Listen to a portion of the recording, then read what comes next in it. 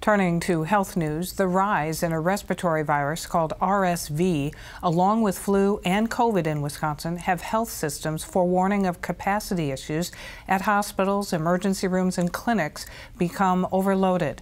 RSV, which has been on the rise in the last couple of months and afflicts children the hardest, have caused hospitals to increase the number of pediatric beds and intensive care units. Statewide, pediatric beds are 75% full and pediatric intensive intensive care units are 80% full.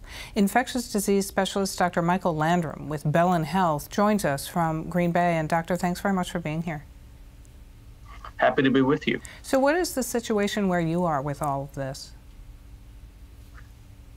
We're about at the state average where we're seeing an increase in the number of cases of RSV uh, in children and as well as uh, respiratory illnesses in adults, but we haven't reached a uh, I would say, a critical level in our capacity right now. We've been exploring options for what to do if numbers increase, but we've been able to manage right now with the cases that we've seen. Well, that's good news uh, in that area. According to the State Department of Health Services, this is the first year that three severe respiratory viruses are circulating at the same time with significant increases, they say, in cases.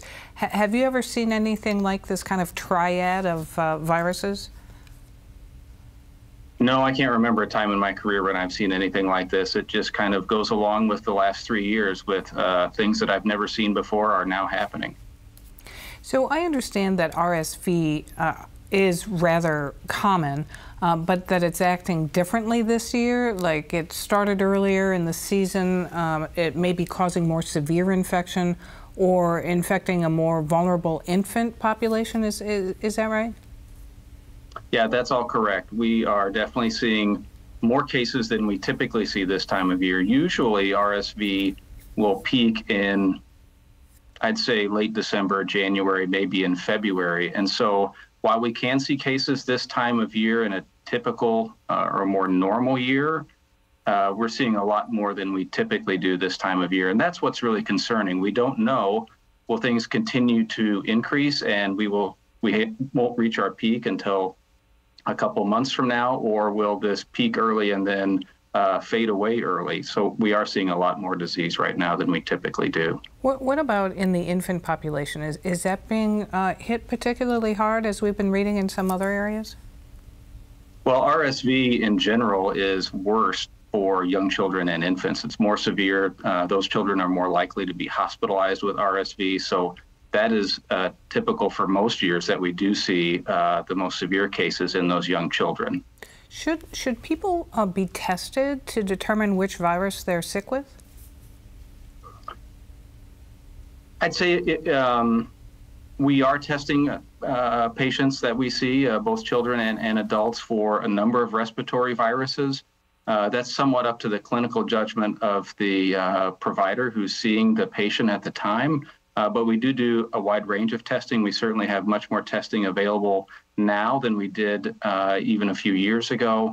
Uh, so, so that is better. Um, most of these infections are for RSV in particular uh, tend to be mild and things that can be managed at home, and so you don't need to rush in and get tested for that reason specifically. However, uh, if your child is uh, uncharacteristically sick, having trouble breathing, uh, particularly young and vulnerable, then that's when you want to call your pediatrician or your family physician and see what they recommend with coming in, getting evaluated, and potentially tested. So, between uh, kind of continuing COVID, the flu, and RSV, is the thought that isolation and masking over the past two years left people vulnerable? That is, uh, you know, the the theory that's being circulated. RSV, uh, influenza, respiratory viruses in general uh, are things that are very common uh, and people get year to year. So uh, over the last few years, as we've been masking and social distancing, we haven't been exposed to these things for a while. And so our immune system, uh, in terms of fighting these off and the overall immunity in the population, uh, is a little bit lower against these things. So it can lead to more transmission, more cases, and perhaps more severe cases. So, what's the prescription for trying to stem the outbreak, especially coming into the holidays?